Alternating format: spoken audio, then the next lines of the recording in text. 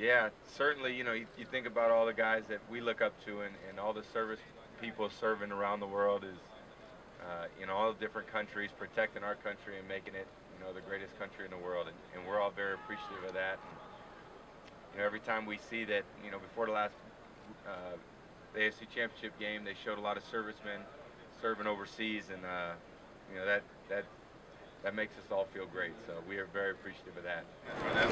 My advice to a younger player would be to, uh, I know this, you know, is a big part of the week and dealing with, uh, you know, certainly a lot of requests, not only media requests, but family requests and friend requests, but ultimately when that game's kicked off, you better be ready to play.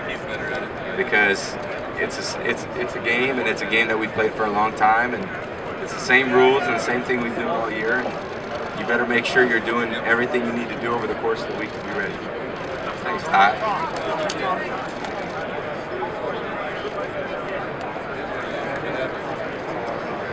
Yeah, I have a four and a half year old who's much more interested in the Millennium Falcon and his Lego sets than uh, than football, which which is uh, probably makes his dad.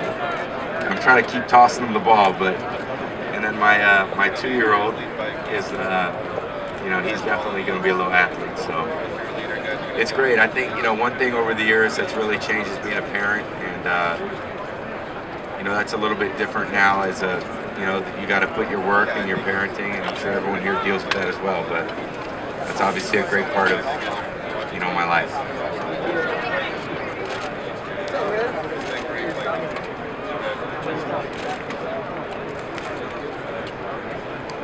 That's a great question.